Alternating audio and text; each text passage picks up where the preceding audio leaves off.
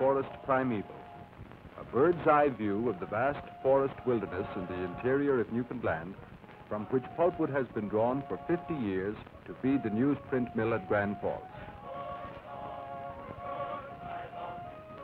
Here are the trees crashing to earth under the bite of the saw, and the men who work through the heat of summer and the chill of winter in the distant timberlands.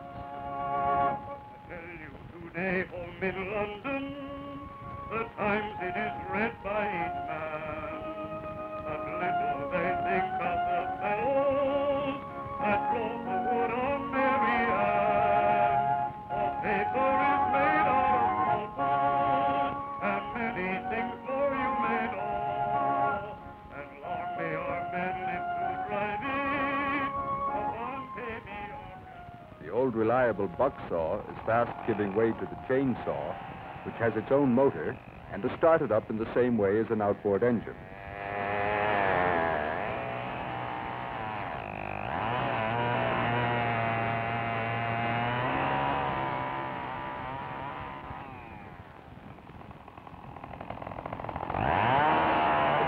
Saw bites cleanly and quickly into the tree and speeds up the logger's output greatly, both in felling the trees and cutting them into the standard four-foot lengths.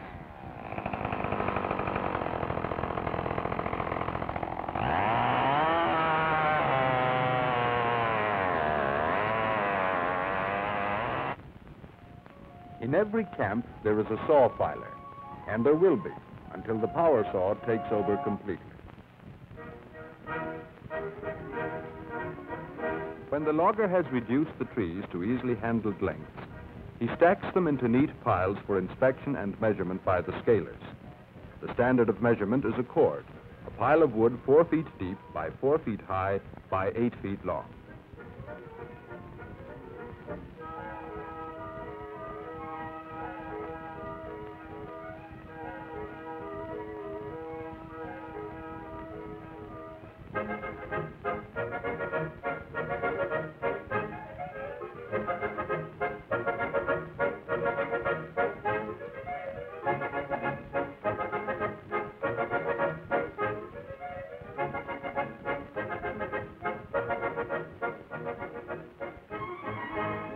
Cutting is done mostly in the summer and fall, and when winter comes, the haul off begins.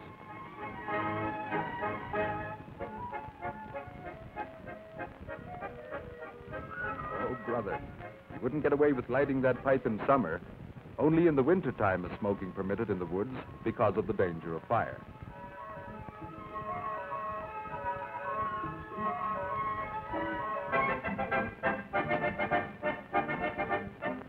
Horses and sleds are used to haul the wood to the riverbanks.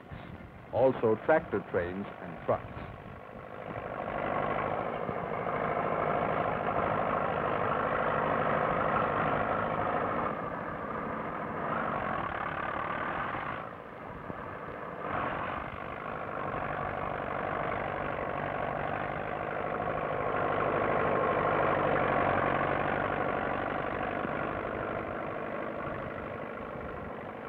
The logs are dumped onto the ice of the river to await the spring breakup, when the swollen currents swish the wood downstream on its way to the mill.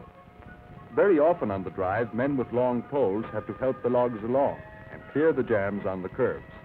Sometimes it takes a tractor to nudge the wood on its way. Throughout the logging areas, there are dams big and small, made of concrete and of wood, so that the flow of water in the rivers can be controlled by raising or lowering the gate. Here's another bird's eye view. It's a log boom at Gambo. Here, as at Terra Nova, the logs are taken by rail to Grand Falls, there to be unloaded into the mill pond.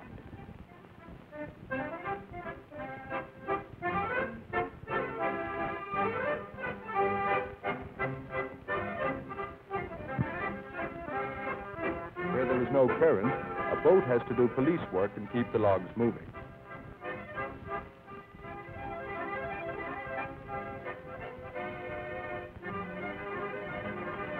Finally, the logs are on their way up the jack ladders to the mill, and the destiny for which they grew tall and straight as trees in the forest, to be freed of bark in the drum barkers, mashed to pulp in the grinders, and then mixed with sulfite to form newsprint.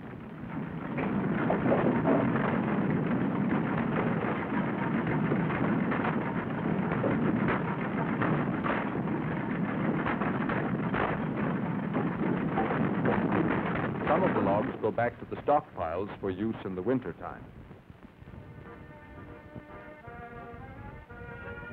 A network of private roads is necessary throughout the timber limits of a paper company in Newfoundland. Woods roads leading to the tall timber are essential for the transport of men and materials. Today, modern machinery is used in the road building, and the newer roads are pretty much up to highway standards.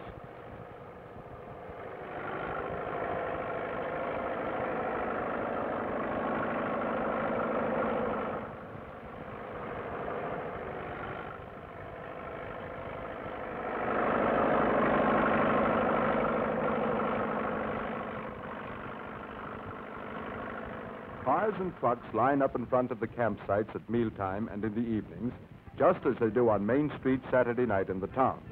It's a sign of the times and a far cry from the old days. Woods camps are also a far cry from what they used to be. Food is wholesome, and there is plenty of it. It's home away from home for the logger, who spends 76 days a year on the average in the camps.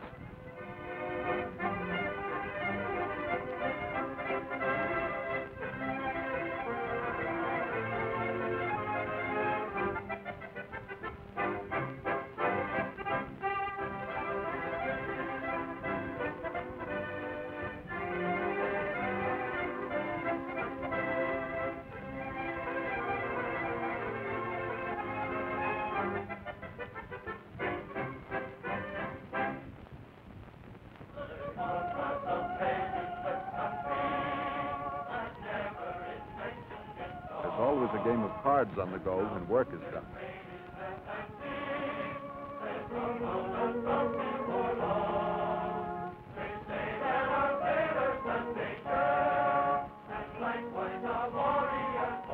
For some, it's a quiet read or a smoke in the bunkhouse.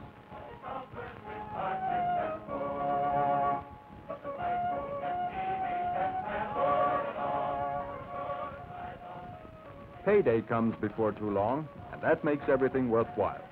Loggers in the A&D camps in 1957 earned a total of $5,226,000. That's a lot of money.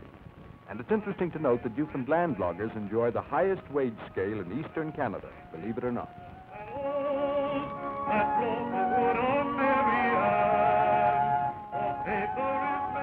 Wherever he lives, in Bishop's Falls or Bay L'Argent, Heart's Content or Heartsease, the Newfoundland logger has a comfortable home to return to after a spell in the woods. There is always a church nearby where he and the family can worship and a school for his children.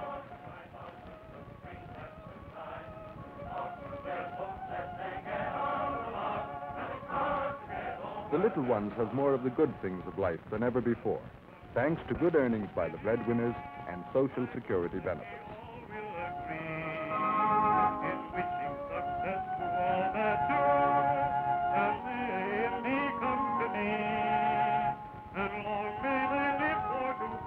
Many of the homes are equipped with modern conveniences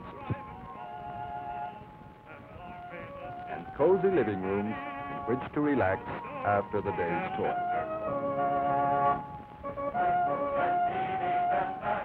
Here is the heart of it all Grants, the mill, and the town it sprouted. In the last 50 years, this pioneer newsprint mill of Newfoundland has paid out in wages, purchases, and services within the island the staggering total of $357 million. Inside the Anglo Newfoundland Development Company mill, which is fed with pulpwood by loggers working from the four divisions of Badger, Bishop's Falls, Millertown, and Terra Nova, giant paper machines hum through the day and night, turning out 800 tons of newsprint every 24 hours. At the wet end of the machine, a very moist pulp races over a wire mesh at the rate of 1,500 feet a minute until it gradually and miraculously forms into a solid sheet of newsprint.